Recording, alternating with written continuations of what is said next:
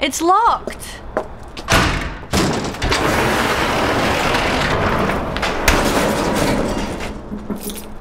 Ever try and turn a dog? For what? Companionship. No. No, no, they're not aware of the rules. What do you mean? Well, regular dogs don't know when to stop eating, so you can't have a bunch of vampire dogs running around attacking everything they encounter. Yeah. And I suppose if you didn't train them to be nocturnal, then you'd run the risk of them committing suicide every time they went out in the daylight. Yeah. What about a raccoon?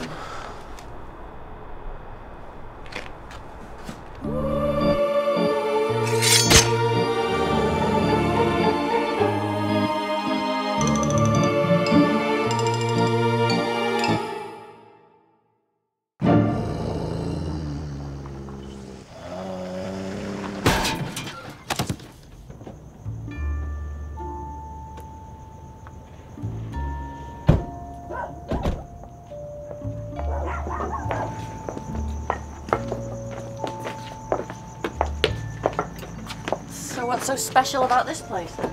Well, the guy's a gun nut. He used to stand with a shotgun on his porch on Halloween. Scare off trick-or-treaters? And a Thompson on New Year's. Great. I imagine he has a whole arsenal stashed away in a panic room or something.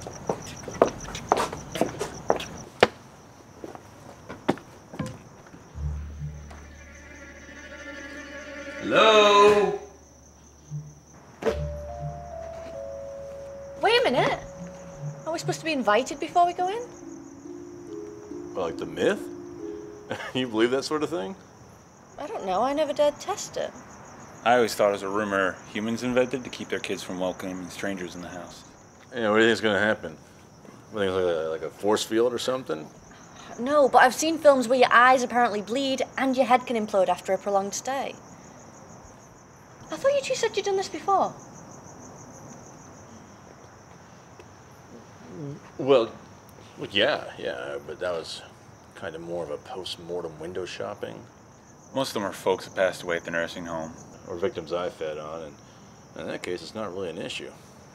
Maybe it was because the property was in the midst of a change of ownership. Don't tell me you're worrying about this now. She brings up a valid point. I'm not a huge fan of head implosion. Ed, we have done this hundreds of times. And at no point do I ever recall having to find a will or their next of kin so we can ask permission to enter the house of the goddamn deceased. Ah, ah, there you go. Why don't you ask his permission? Pardon me, gun nut. May we enter? Okay. What do we consider that? Was that even a sentence? It Could have been. Well, then go on in. It could have been a sentence. Whether it was a yes or no was another issue.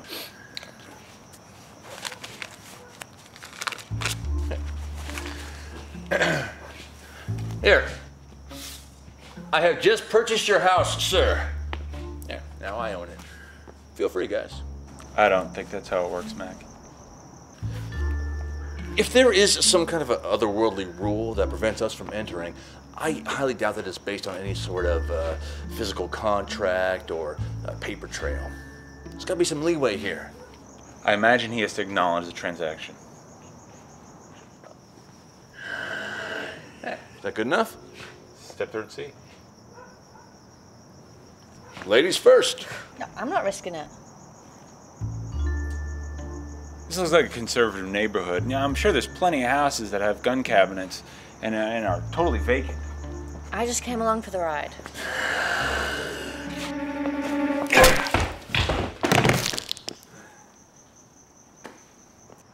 Well, either way, he has now died twice. Eminent domain. It's a change of ownership.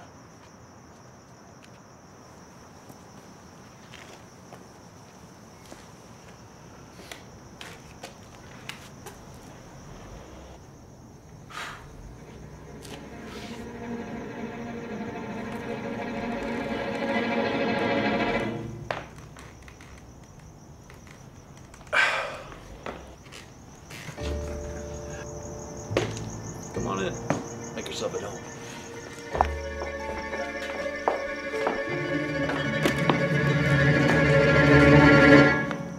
Ooh, nice dining room set.